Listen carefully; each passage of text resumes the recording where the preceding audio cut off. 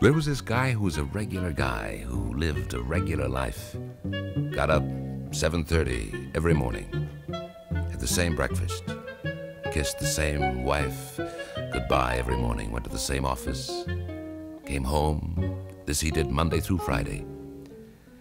On Saturdays, he played with the children, did handiwork around the house. Sundays, he took the family out in the station wagon to the suburbs.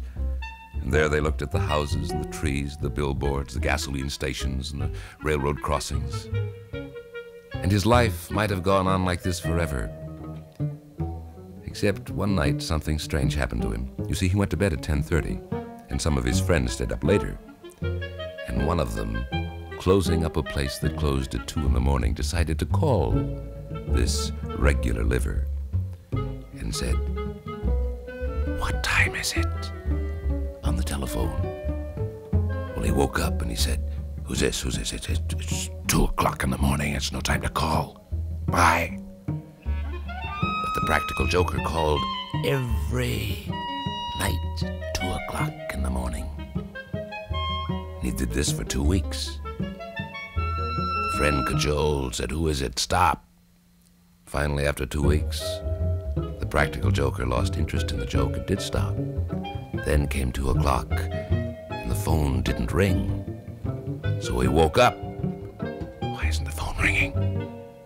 And he discovered that the only way that he could go back to sleep was to say, What time is it? And look at his watch and say, Two o'clock. Then he could sleep. He did this a couple of nights until he began to think, It's two o'clock where I am. What time is it in New York? Or in Hollywood? Or in London? Or in Hong Kong? In Cairo? He didn't know.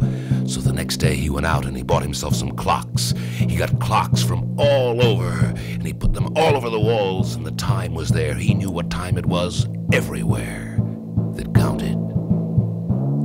And this made him feel comfortable. He became so interested in time that he got little egg timers and gave them away as presents. He read about time in, in books, sidereal time, time way out in the universe. He knew what time it was on Arcturus and the Pleiades and the Milky Way. One night, though, at two o'clock in the morning, the light wouldn't go on. The fuse had blown. But suddenly he realized he knew what time it was without even looking not only in the important cities of this world, but in the entire universe. And naturally, he began to brag a little the next day.